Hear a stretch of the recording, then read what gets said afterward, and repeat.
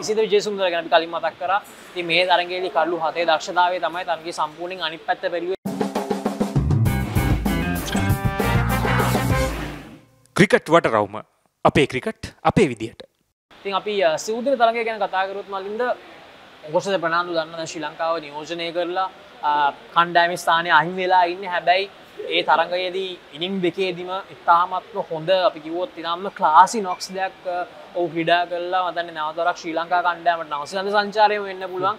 එන්න ඉතාම හොඳ විදිට පාරකපා ගත්ත. සහ ඉසිද ජේසුන්දර ගැන කලින් මතක් කර. ති මේ තරගේලි කල්ලු හතේ දක්ෂතාවේ තමයි තරගේ සම්පූර්ණින් අනි පැත්ත පෙරුවේ දෙවනීමේදී ති පොඩ්ඩක් අපි කතා කරම විස්රාත්මක තරගේදී මොකදුමේ කිය අනිවාර්යයෙන්ම ලක්ෂසි විශේෂයෙන්ම කාසිය වාසිය මේ තරගයේදී දිනාගත්තේ දකුණු අප්‍රිකානුවේ කණ්ඩායම. ඉතින් ඔවුන් ලකුණු 372ක ලකුණු පුරාවට නිර්මාණය කිරීමට සමත් වුණා. එහිදී මැතිව් බ්‍රිඩ්ස්ගේ ලකුණු 129ක් වාර්තා කිරීමට සමත් වුණා. පන්දුවේදී පළවෙනි මේදී ඉෂාන් මාලිංග දෙතම හොඳින් දස්කම් අතරට ආව කඩලු 4ක දස්කමක් ඔහු වාර්තා කිරීමට සමත් වුණා. ඉතින් ඉන් අනතුර ශ්‍රී ලංකා පළමුවෙනිම ලකුණු 323ක් දක්වා ඔසවාද බිමර ඔස්ට්‍රේලියා ප්‍රනාන්දුට හැකියාවක් ලැබුණා. ඔහු ඉතාමත් හොඳ ශතකයක් වාර්තා කිරීමට සමත් වුණා. ලකුණු 122ක් පන්දු 146කින්. ඉතින් ඔහුගේ ඉනිමත් එක්ක තමයි අපිට මේ අර ඒ ලෙවල් එකටම ඉතාමත් හොඳ ලකුණු සංඛ්‍යාවක් හොඳ ෆස්ට් ඉනිං ටෝටල් එකක් අපිට දාන්න පුළුවන් වුණේ ඔහුගේ ශතකයත් එක්ක.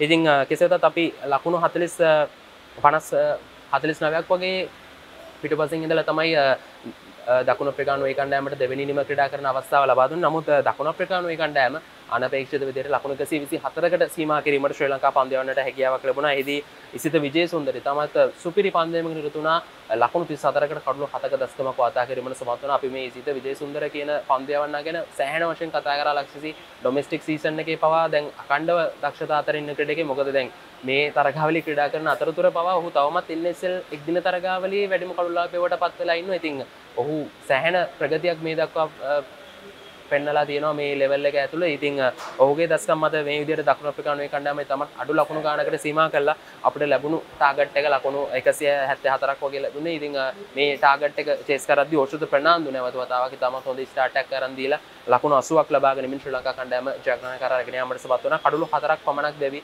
මේ ඉලක්කය සපුරා ගැනීමට සමත් වුණා. ඉතින් පළමු නිල නොවන ටෙස්ට් තරගයේ විදිහට අපි ජයග්‍රහණය කිරීමට සමත් වෙන විශේෂයෙන්ම සඳහන් කරන්න ඕන ඕෂුද ප්‍රනාන්දු වෙන සඳහන් කරොත් ලක්ෂසි මීට පෙරත් ඔහුට දකුණු අප්‍රිකාවේ ක්‍රීඩා කළ හොඳ අත්දැකීම් තිබෙනවා. මොකද අපි 2019 දී දකුණු අප්‍රිකාවට එරෙහිව ඓතිහාසික ටෙස්ට් තරගාවලි ජයග්‍රහණයක් වාර්තා කරා. ඉතින් ඒ තරගයේ ඒ තරගාවලි ඩර්බන් ටෙස් තරගය කුසල් පෙරේරාගේ 153න් අපි දින්නා එක් කඩුල්ලකින් ඒත් එක්කම දෙවෙනි තරගයේදී ඕෂධ ප්‍රනාන්දු සහ කුසල් මෙන්ඩිස්ගේ සමලතාවයෙන් තමයි අපි තරගයේ ජයග්‍රහණය කිරීමට වුණේ ඕෂධ ප්‍රනාන්දු ඒ තරගයේදී තමත් හොඳ අර්ධශතකයක් වාතා කරා. ඉතින් ඔහුට මේ දේවල් නැවත නැවත මතක් වෙනවා ඇති අනිවාර්යයෙන්ම හොඳ චේස් එක හොඳ එක මේ වගේම ලකුණු මට්ටම තමයි ඕන් චේස් කරේ. ඉතින් ඒ දක්ෂතාවෙනුත් එක්ක ඕෂධ ප්‍රනාන්දු මං හිතන්නේ NSL සිව්දින තරගාවලේ ඉඳන් මේ දක්වා තමත් හොඳ ෆෝම් එකකුත් ඔහු රඳවාගෙන. ඔහු ගාල්ල කණ්ඩායම නියෝජනය කරා NSL තරගාවලේ තමත් හොඳින් දස්කම් දැක්ව අවසන් මහතරගේ පවයි තමත් වේගවත් ඉනිමක් දියත් කරලා කණ්ඩායම ජයග්‍රහණය කරගෙන ගියා. ඉතින් ඒ විදිහට දැන් ඔහුත් නැවතවතාවක් මේ ශ්‍රී ලංකා ටෙස්ට් ස්ක්වොඩ් එකට ඉන්න නැවතවතාවක් ඔහුගේ පාර කපා ගන්න ආකාරය තමයි අපිට